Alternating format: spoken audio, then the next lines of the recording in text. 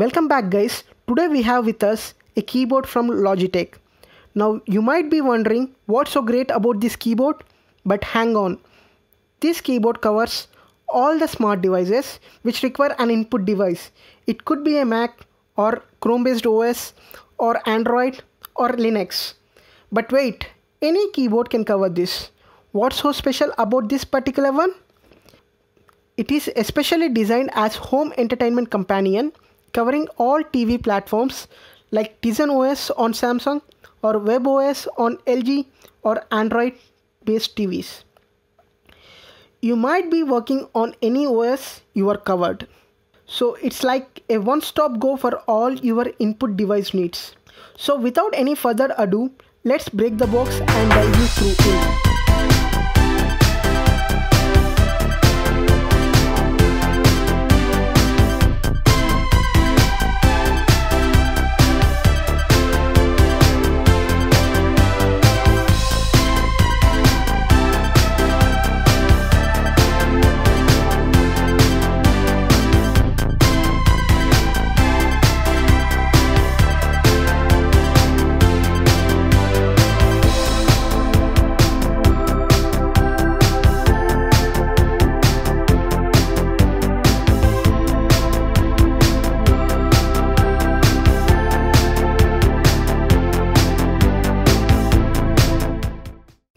These are the box contents.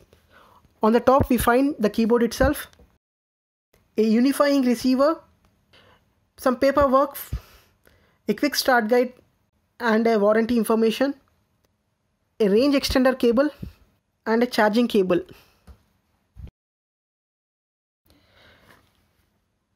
Let me wipe away all the accessories and let's focus on the keyboard. Keyboard feels so light and it's well built. Its sleek design makes it portable. Keyboard is made to be flat angle. There are no incline settings. Keys are placed quite adjacent to each other but are comfortable to type. It's a chiclet style keyboard which you usually find in laptops but the rubbery feel while typing is weirdly satisfying. An added perk to this, it has an integrated touchpad which makes you leave aside your mouse.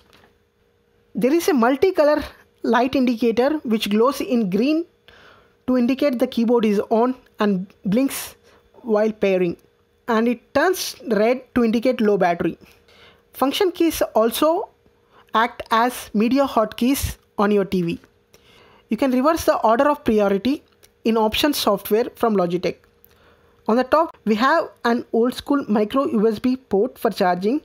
We have the left mouse click which makes it convenient to navigate with both hands, like pointing with your right hand and clicking with your left hand. We have the toggle button to turn on and off the keyboard. It is versatile enough to be connected over Bluetooth or wireless unifying receiver. It has a built-in battery of 500 mAh. We have a light sensor which detects the amount of light in the room and automatically dims or brightens the backlit Backlit turns off after 7 seconds to save the power after typing. It has 3 levels of lighting. The main USP of this keyboard is its backlighting feature. It provides you the ability to easily control your TV while binge watching during nights. Let's say you are watching a movie in a cozy night. You suddenly came across an alien word something like this. You can just jump into the browser and explore it from the comfort of your couch.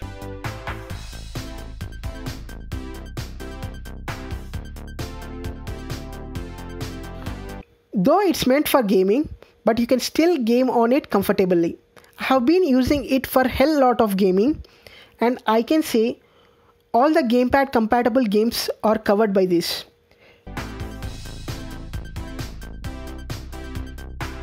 Now let's talk about pros and cons. Starting with the pros, it can be connected to any platform.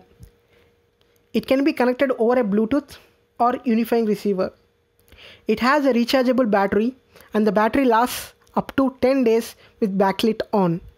It's portable. If you own this keyboard, you can forget your TV remote. Each key is individually backlit. Coming to cons, as I mentioned earlier, keys are congestedly placed. Touchpad doesn't support Windows precision drivers. You can toggle the Google Assistant, but you cannot communicate due to unavailability of mic. Function keys are not backlit. You are sacrificing the number pad for the comfort of touchpad. No caps lock indicator. As a final word from my end, this keyboard has impressed me with its features and versatility. I will be leaving the direct links in the description box below. That's it for today guys. Thanks for watching. For any queries and feedback, please leave a comment below. If you like my efforts, please do like, share and subscribe. This is Aditya signing out.